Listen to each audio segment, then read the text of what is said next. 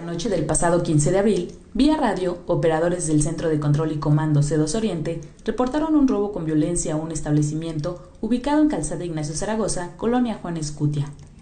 De inmediato, al lugar arribaron policías preventivos quienes aseguraron a un joven con pertenencias de los afectados. De acuerdo al reporte policial, se aseguraron seis teléfonos celulares de diferentes marcas, dinero en efectivo y una réplica de arma de fuego.